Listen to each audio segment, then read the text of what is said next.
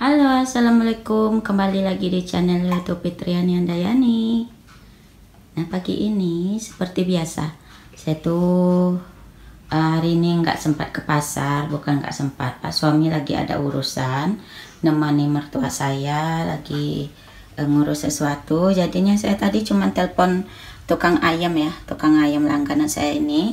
Beli ayam tadi dua ekor hmm, sekitar 1,8 per ekornya beratnya ya. Jadi ini tuh tadi uangnya 70.000 nah ini tuh selesai saya cuci ya mak. Lagi di apa ditiriskan. Di sini kan ada lubang nih. Nah tuh. Lagi ditiriskan. Nanti kalau udah tiris baru saya kasih apa wadah per wadahnya tuh untuk sekali masak nanti jadi hari ini mau bikin apa ya? Cuaca lagi dingin agak mendung gitu kayaknya bikin yang berkuah-kuah ya mak. Bikin soto cuman soto eh soto apa miso ya? Ah, deh gitu mak. Yang penting berkuah-kuah ya sama pakai mie nanti. Bihun. Nah kerak masih ada. Keripik pisang masih ada ya. Ada banyak sih makanan sekarang cemilan endos dikasih kayak gitu ya. Kemudian nanti saya juga mau masaknya pakai alat masak yang baru ya mah ini tuh saya dapat kiriman dari at serba serbi underscore dapur ya. Nanti saya tulis saja deh di kolom deskripsi yang instagram orang yang ngasih saya ini itu ya. Ini tuh adalah alat masak uh, bahan stainless gitu cuman tebal. Nih panci memasak cookware set jadi kita dapatnya ini cara apa untuk masak air uh, open dogs open gitu ya. Panci besar sama ini pan sama ini juga saucepan. Nah jadi ini tuh uh, high quality ya mak. 5 layer bottom. Mirror polish housing bebas karsinogen. Karsinogen. Lepotan saya bacanya. Hemat energi cepat panas panas lebih lama. Kayak gitu ya. 4 unit 16 uh, cm 24 cm 24 sama 2, liter. Jadi ini tuh 4, liter ya isinya. Cuman uh, lebarnya 24 cm Oke, sekarang kita mau buka yuk. Kita lihat apa aja sih yang uh, apa uh, pen, penampakan aslinya. Oke, saya langsung aja buka ya mak. Oke, sekarang saya mau langsung buka aja ya mak. Ini isinya apa aja ya?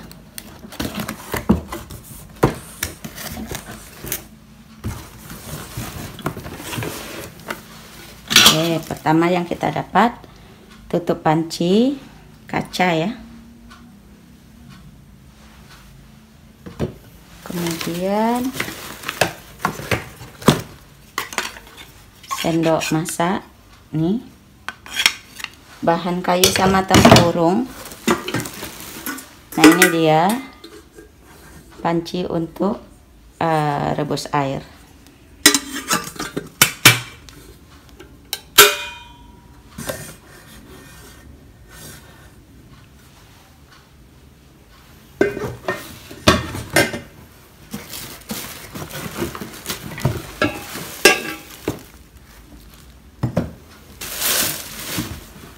saus pen beserta tutupnya. Nih.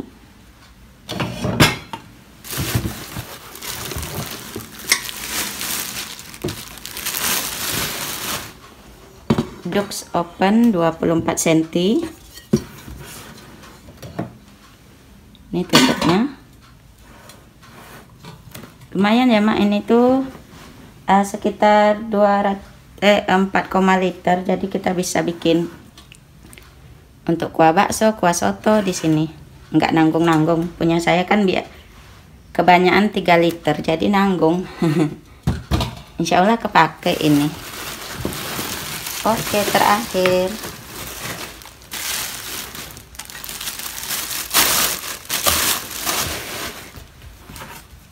Pen. Nah nih. lebarnya 24 cm oke. Jadi bahannya benar-benar tebal terasa berat ya mak. Lihat gitu gagangnya tetap pakai bahan stainless ya. Oke saya singkirkan dulu. Kita mau susun dulu buat foto ya. Foto instagram. Oke jadi ini dia panci setnya ya mak. Alhamdulillah ini tuh nggak beli. Endos loh mak endos jadi di sini memang tugas saya seperti ini ya mak mempromosikan dagangan orang. Ya, kalau ada uang lebih memang membutuhkan silahkan beli. Linknya saya taruh di kolom deskripsi. Oke ya mak. Jadi ini tuh bukan niat mau meracuni ya mak. Terang-terang meracun. Tapi seperti inilah kerjaan saya membantu also mempromosikan dagangan mereka. Ya kalau ada uang beli kalau nggak ada jangan dipaksain. Nabung dulu. Oke deh saya mau lanjut masak dulu mak. Stay tune. Nah jadi ini sisa ayam yang setelah saya simpan ya mak. Jadi ayamnya itu satu kilonya tadi uh, eh, 19.000 1,8 kali 2 3,6 kali 19.000 ya mak.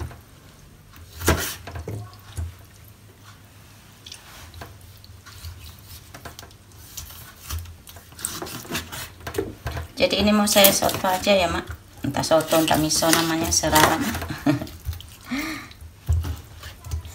Langsung dipotong kecil-kecil aja nih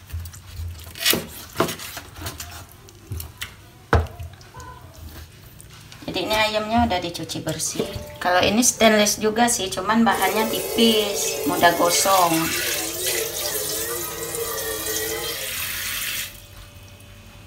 Oke saya masak airnya.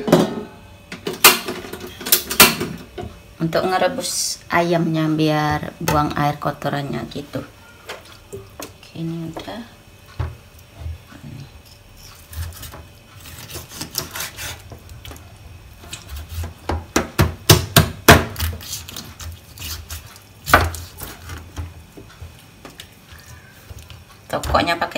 maklum udah expert itu.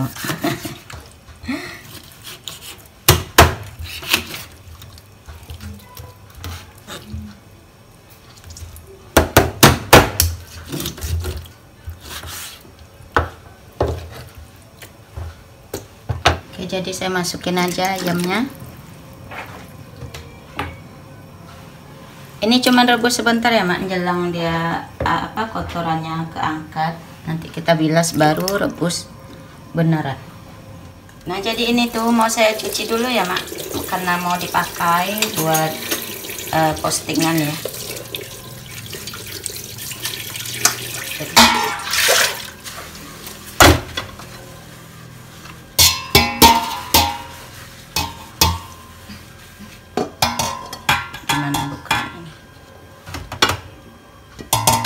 nanti kalau kebakar susah hilangnya ya.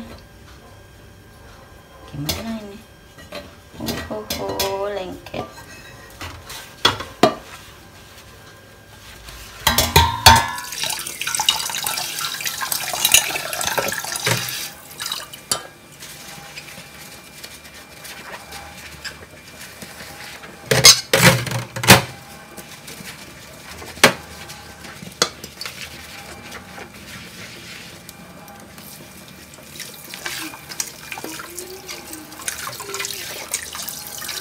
dan ternyata e, dibakar jadi mudah hilang mereknya di sini ya.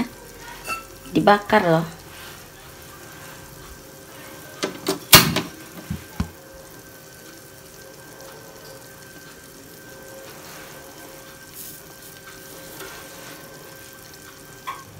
Nah jadi ini air untuk kuahnya udah saya siapin ya. Sekarang kita mau masukkan ayam yang tadi saya rebus biar cepat empuk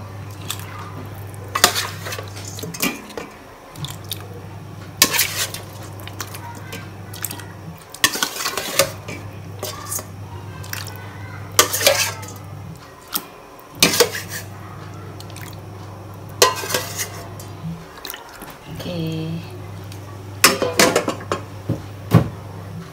Sekarang kita mau siapin bumbu-bumbu yang lain. Nah, jadi di sini tuh ada kapulaga, bunga lawang, kayu manis, cengkeh. Nah, ini dia udah dicuci. Langsung aja masukin. Oke, kita tunggu sampai mendidih sampai kita apa sambil kita blender bahan yang lain. Nah, jadi ini tuh ada apa? Daun jeruk, serai, kemiri, sedikit jahe, saya nggak ada laos ya. Bawang putih, bawang merah. Nih. Mau saya bersihkan, mau di blender. Dan kita pun testing rebus air pakai pancinya. Ini tuh udah mendidih ya. uapnya keluar-keluar nah ini tuh uh, belum mendidih saya masukin aja nih rempah-rempah daun salam serai dan daun jeruk tinggal nunggu mendidih nah jadi ini tuh mau apa ya? Halusin bumbunya dulu. Cuman ada jahe bawang putih bawang merah sama kemiri. Kecil-kecilin dulu deh biar gampang ngeblendnya. Ini udah siang perut udah lapar karena belum sarapan. Curhat nih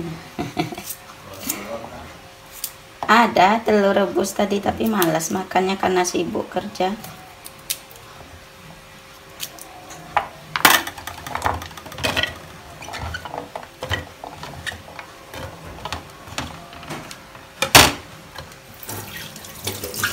Oke jadi ini di blender dulu ya. Nanti kita mau tumis. Nah jadi gagangnya nih kalau dipegang terasa angan-angan gitu ya. Tapi nggak panas, angan. Angan-angan gimana gitu ya. Kayak kita megang HP kalau udah kelamaan gitu ha. Nah rasa hangat ya. Oke nih saya langsung tumis bumbunya ya.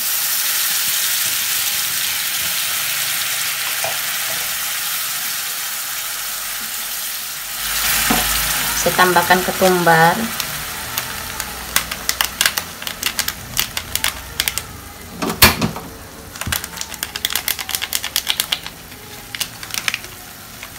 kemudian kunyit bubuk.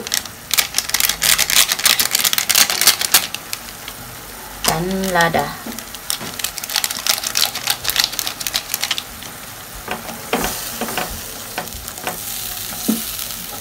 Kita testing semua alat masaknya ya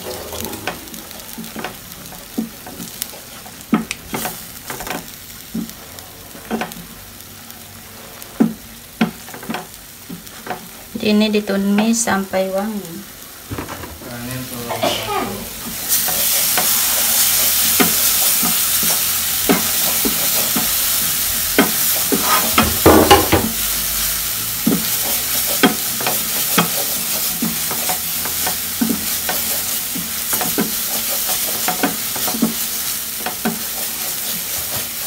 Oke jadi ini udah wangi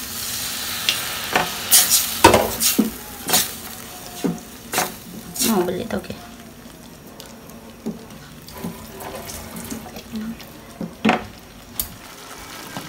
Nah jadi kita mau pindahin ke sini bumbunya.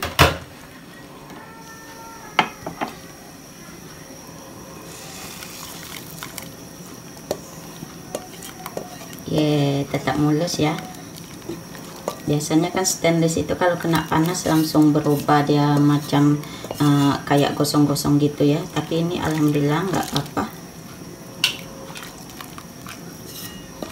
Tetap uh, apa kinclong nih dalamannya. Bawahnya.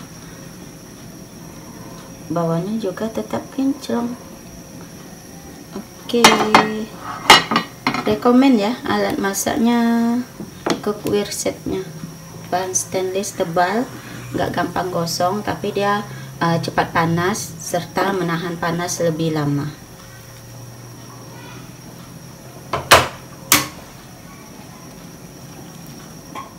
Nah kalau ini tuh sendoknya adalah bonus ya kayak yang tadi juga adalah bonusnya.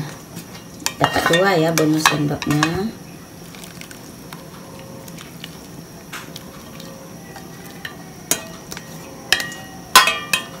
kinclong tinggal cuci. Ini udah apa mendidih.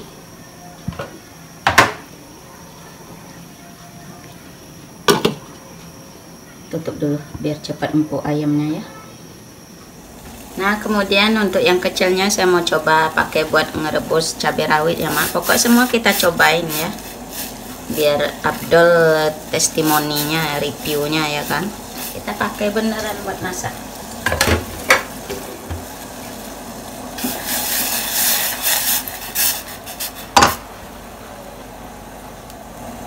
Kemudian ada daun bawang yang udah saya potong-potong mau saya masukin ke kuahnya ya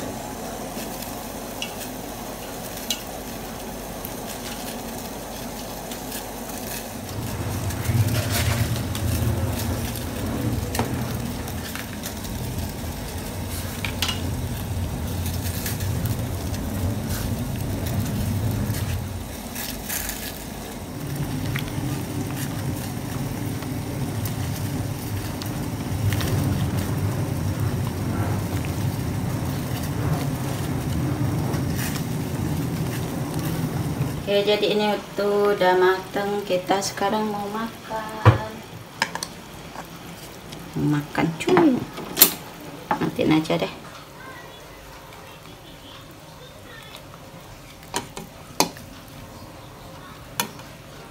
Jadi ini tuh tak ada sayur ya, Mak. Apa adanya aja. Hmm. Gak ada toge buat sayurnya bawang goreng pun saya nggak bikin. Udahlah gini aja. Nih.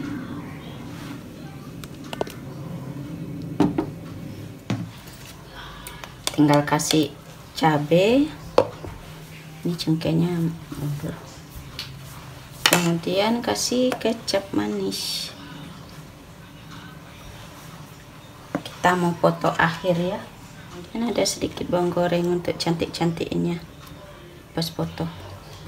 Sekarang mari kita foto. Oke jadi udah selesai masa hari ini tuh soto-sotoan. Nggak lengkap-lengkap banget sih bahannya tapi insya Allah enak ya.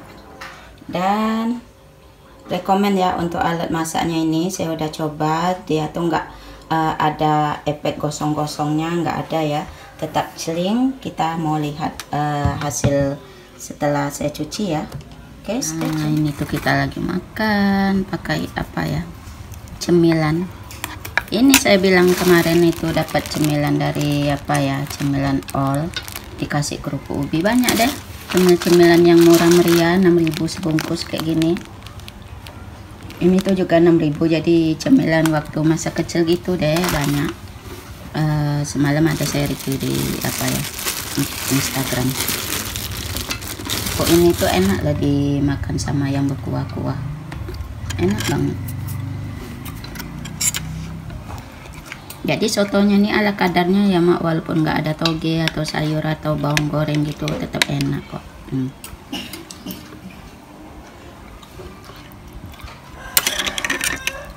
yang penting ada ayamnya ada telurnya dan ada kerupuknya buat kriuk-kriuk ini Hmm.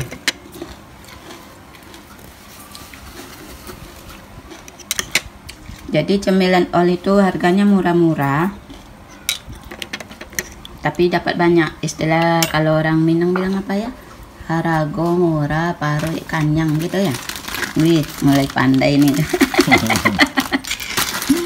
Tapi Pak suami nggak suka kalau saya bahasa apa katanya belepotan.